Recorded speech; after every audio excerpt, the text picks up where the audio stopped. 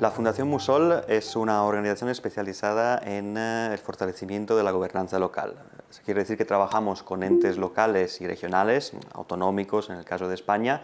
eh, para promover el desarrollo sostenible. Eh, en el 2015, cuando se aprueba la Agenda 2030 de Desarrollo Sostenible y los 17 ODS que fija esta agenda, es decir, los 17 Objetivos de Desarrollo Sostenible, uno de los servicios, una de las competencias eh, de los entes eh, locales y autonómicos que mm, detectamos con mayor potencial para eh, lograr y difundir los ODS es la educación de personas adultas. Y es por eso que desde cuatro o cinco años aproximadamente, desde Musol, impulsamos eh, un programa de introducción de la Agenda 2030 de Desarrollo Sostenible en la educación de personas adultas. Colaboramos con los centros de, educación de, personas adultas, tanto municipales como autonómicos, eh, para que los ODS estén integrados en la formación que llega al alumnado de estas escuelas. Trabajamos tanto con el profesorado para que conozcan eh, la Agenda 2030 de Desarrollo Sostenible y también con el alumnado.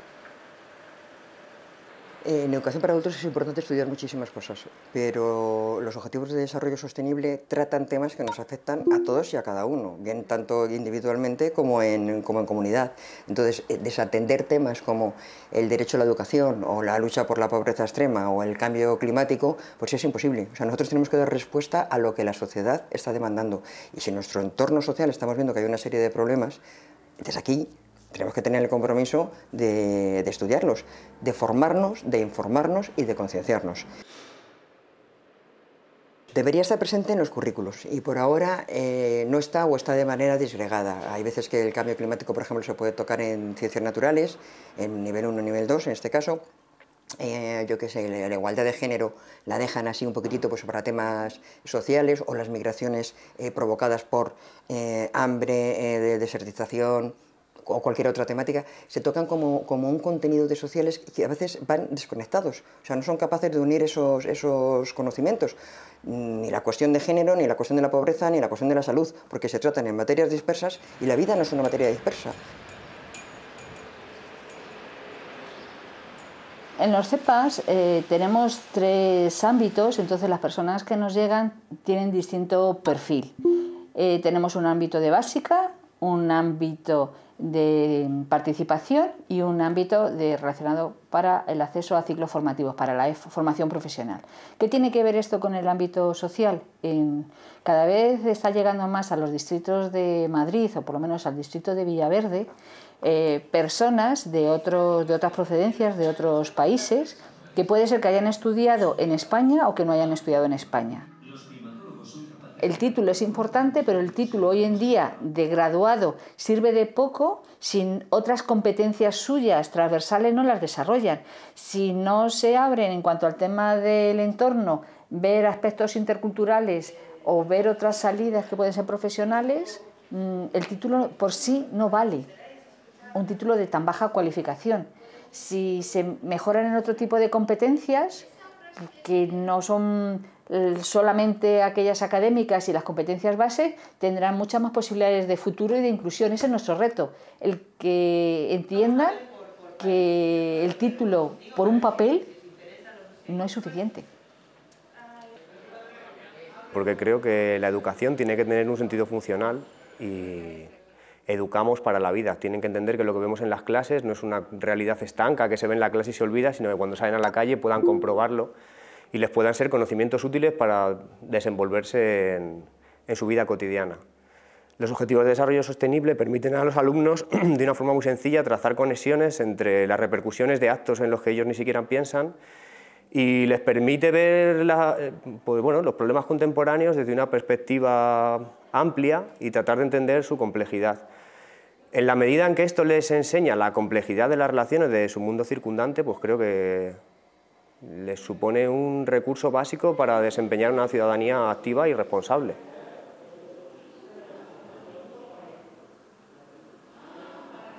Los objetivos de desarrollo sostenible, el trabajo con los objetivos de desarrollo sostenible permiten precisamente potenciar uno de los elementos claves de la educación de adultos, que es la formación integral de la persona. También por las propias características de la estructura de la enseñanza de adultos en nuestro país, permite integrarlas por su carácter multidisciplinar dentro de los diferentes niveles y ámbitos que tiene la educación de adultos, sobre todo permitiendo también la formación integral de las personas, no solamente desde el punto de vista académico, sino también formando a una ciudadanía crítica y responsable con la realidad del mundo actual. Desde el CEPA de Orcasitas, nosotros, por ejemplo, lo que echamos en falta es que desde la Administración se potencien actividades eh, que no solamente sean eh, con un objetivo de una titulación. Por ejemplo, pues, eh, actividades donde haya encuentros humanos que potencien ese enriquecimiento del alumnado entre personas de diferentes culturas, a través de sus propias experiencias, de manera que mm, lo que se potencia, se quiere potenciar desde la Fundación Musol, que son valores Em, se obtienen mucho mejor a través de estos encuentros de ocio, de talleres, salidas, que normalmente se suelen hacer desde los CEPAS eh, por iniciativa propia, pero que no se fomentan ni se potencian tanto desde la propia Administración.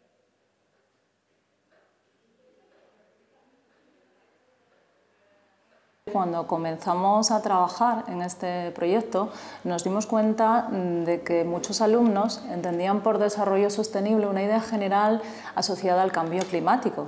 Y sin embargo luego pues fuimos comprobando las dinámicas que íbamos aplicando en el aula que no solo afectaba al cambio climático sino que afectaba a la distribución desigual de la riqueza en el mundo, que afectaba eh, a la igualdad de género, la desigualdad de oportunidades que, por ejemplo, tienen mujeres y hombres para acceder a un puesto de trabajo o cobrar un mismo salario. Entonces se han ido trabajando diferentes temas que no solo abarcaran eh, pues las emisiones de, contaminación en el planeta, que eran lo que ellos se centraban, sino otros muchos más temas de objetivo de desarrollo sostenible. A mí, por ejemplo, en mi labor docente me ha servido como punto de fuga para organizar los contenidos de toda una unidad didáctica que estaba vinculada precisamente con esto. No solo con los objetivos de desarrollo sostenible, pero sí con las problemáticas, grandes problemáticas actuales, como pueden ser las migraciones, como puede ser el cambio climático o como la globalización. Y entonces, precisamente, tal y como se enfocaban los problemas, que era estableciendo relaciones entre esos tres fenómenos y ver cómo interactúan unos sobre otros, pues a mí me ha sido enormemente útil para establecer como un punto de fuga eh, sobre el que ordenar todos los contenidos que vamos a ver en la unidad. Y luego, pues a raíz de eso, pues hemos hecho una serie de proyectos y una serie de trabajos que bueno, han dado unos resultados que son mejorables, pero que estoy contento. A través de las escuelas eh, de educación de personas adultas conseguimos que eh, muchas personas excluidas probablemente de la información sobre la Agenda 2030 eh, consiga y tenga acceso a esta información, sepa cuáles son los ODS y sepa sobre todo en su día a día qué puede hacer para contribuir a lograr los ODS. ¿Qué es lo que pretendemos hacer en un futuro con este material? La verdad es que nos ha venido muy bien porque tenemos idea de trabajar por proyectos en el año que viene, puesto que tenemos más tiempo, ya con el material en la mano. Em, sobre, en el segundo trimestre eh, tenemos idea de plantear de una manera interdisciplinar eh, trabajar con los derechos humanos, tanto desde la lengua eh, castellana, lengua extranjera, en el módulo de matemáticas y sociales. Entonces, bueno, pues hay bastantes em, ideas para trabajar con, los materiales dados porque normalmente los centros de adultos, es verdad que somos pocos, pero somos los hermanitos pobres de la educación en general. No se nos tiene muy en cuenta, no, pertenecemos a ese rango de institutos o de, o de centros eh, con gran alumnado. Entonces, el que alguien se dirija a nosotros, como en este caso a la Fundación Musol, y nos proponga eh, un trabajo sobre su objetivo de desarrollo sostenible, eso ya para nosotros es un orgullo. Otra cosa es que lo aceptemos o que los centros hayan dicho que sí y otros centros digan que no y quieran trabajarlos o no. Pero tanto el material didáctico que nos eh, ofrece la organización, la fundación, eh, como la, por ejemplo la posibilidad de, establecer, de, poner una exposición en el, en el, centro sobre el objetivo de desarrollo que queramos, que queramos trabajar, pues facilita nuestro trabajo. Si estamos concienciados que esos son currículos a tratar, a formar y tal, la verdad es que tanto con el material como con la exposición, como con las charlas que la Fundación nos está, nos está ofreciendo a, los centros, nos facilita muchísimo el trabajo. Labor nuestra luego, continuar, ampliar o desarrollarlo más.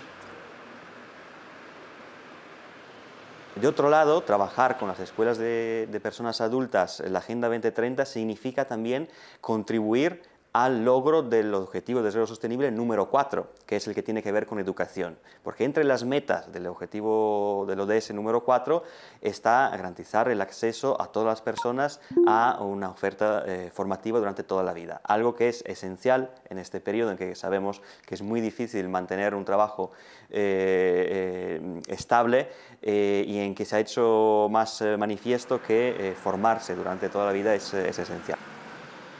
Tradicionalmente la enseñanza de adultos en este país viene considerándose como una especie de nivel educativo de segunda oportunidad. Sería conveniente que se introdujesen desde un enfoque realmente de educación permanente a lo largo de toda la vida. En ese sentido, de nuevo trabajar, que estén incluidos los objetivos de desarrollo sostenible en este tipo de políticas, claramente es un elemento que promovería elementos tan importantes como la adquisición de las competencias clave, como sería la de la competencia cívica y social, en la que de nuevo en esa eh, estructura social tendríamos alumnos con una mentalidad abierta, crítica y dispuestos a solucionar los problemas del mundo actual. Lo importante no es solamente lo que se aprende aquí, sino cómo puedo eh, yo trasladar aquellos aspectos que me están dando para mejorar todo el entorno, porque si yo mejoro el entorno, no solamente me mejoro, mejoro a nivel personal, sino se mejora la calidad de, todos los, de la zona donde yo estoy habitando. Un pequeño grano de arena puede ayudar para mejorar el nivel eh, social y el entorno en el que me estoy encontrando, en el que estoy viviendo. No es, son acciones puntuales, es una acción que se encuentra en forma de red. Si todos contribuimos, todo aumenta para mejorar.